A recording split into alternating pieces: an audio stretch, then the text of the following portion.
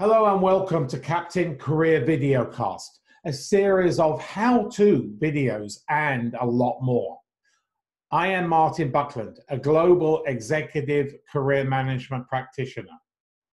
This series of videos is where I share my wealth of expertise and knowledge on executive career management to help you reach your career goals.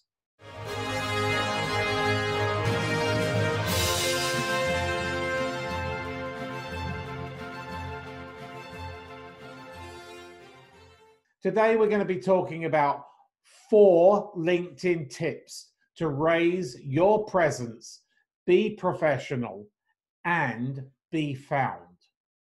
Number one, you must have a professional, by that I mean professional photograph, not carrying a fish, cuddling your kids, cuddling your dog, a professional photograph in attire that you want to be recognized and that is totally professional.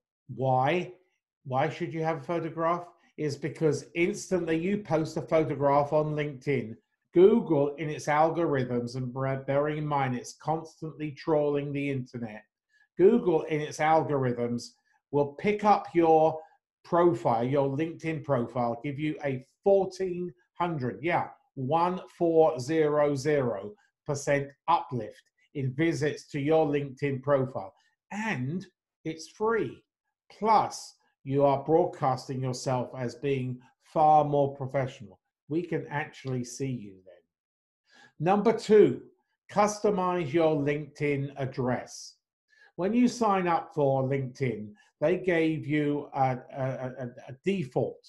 And normally there are letters and numbers or a combination of both after your name.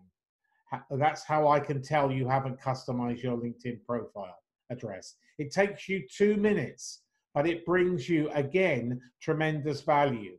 As soon as you go and customize that LinkedIn address, Google, again, in its algorithm visits to your LinkedIn profile, will give you a 400, 400% uplift.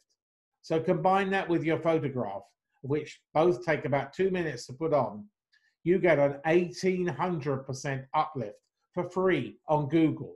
And you want as many people to visit your LinkedIn profile as you uh, as possible. Because right now, somewhere in the world, an, an executive recruiter or HR professional or other decision maker is looking for talent like you, and you want to be number one.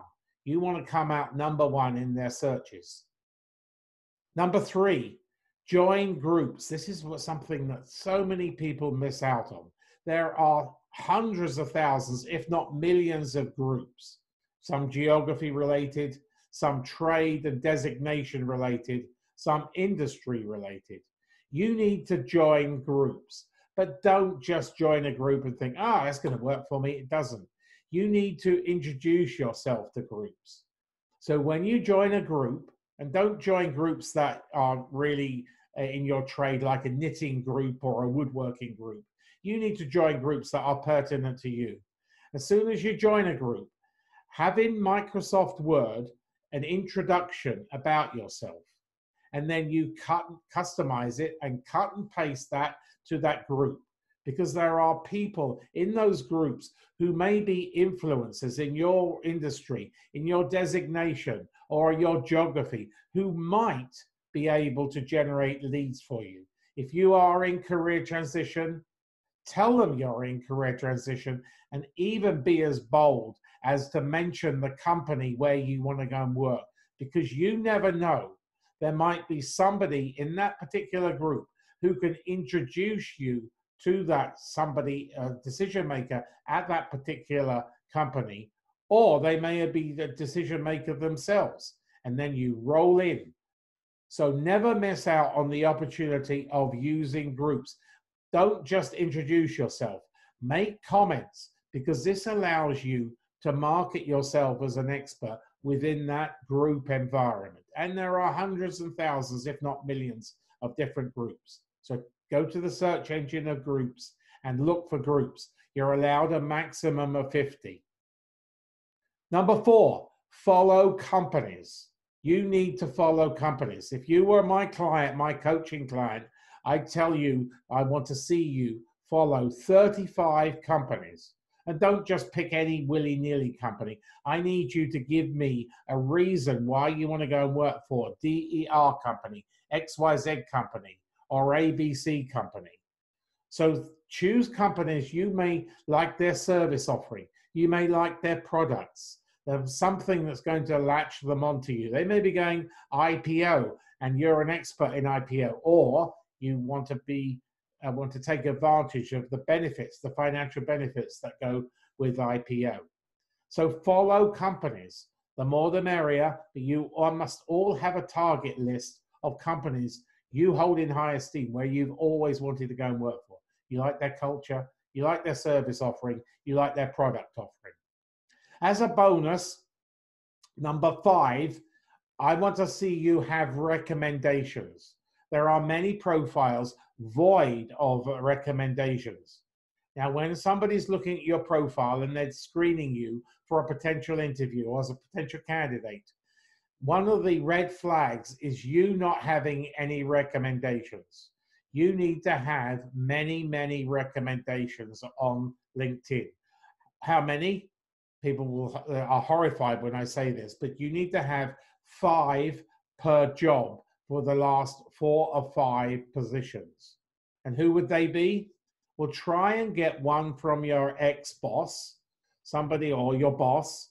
I know it's tough, but uh, especially if you're gainfully employed, then that might be impossible. But if from an ex boss, that might be possible, or a retired boss.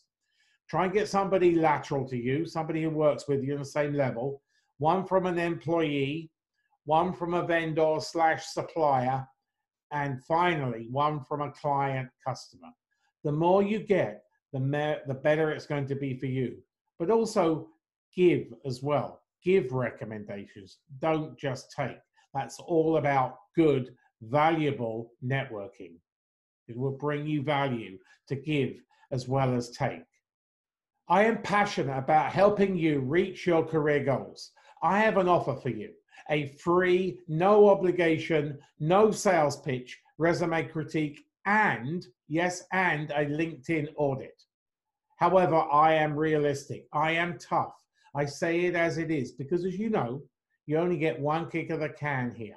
So I want to remove all those red flags so you can have a bank of green flags. So when you come to career transition and executing a job search, you will move from A to B in the fastest possible way. Are you interested in my offer? If so, send your resume to an email via LinkedIn in the message bar there, or send it to the email in the message below, the block below. If you are watching on YouTube, please subscribe by pressing the button below. Also, press the bell icon so you will be notified of all my future videos in the Captain Career series of how to videos and a lot more.